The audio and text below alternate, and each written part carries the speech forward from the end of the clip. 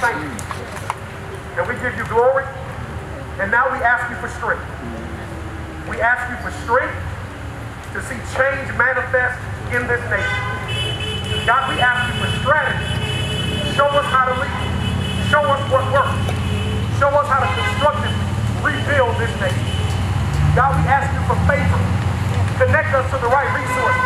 Connect the right people together that we might lead a movement that will bring genuine, authentic change. God, we ask for unity.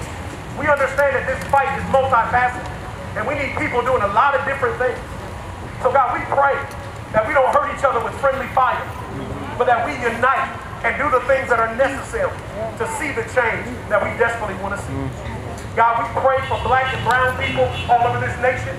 We pray for white people. We pray for our Hispanic brothers. We pray for our Asian brothers and sisters. We pray for our Native American brothers and sisters. We pray for every immigrant that has found a home in the United States.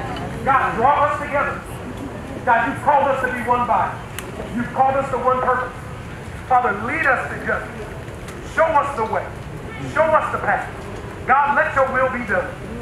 In the mighty, matchless, magnificent, and marvelous name of Jesus Christ, we pray. God, we love and amen. Amen.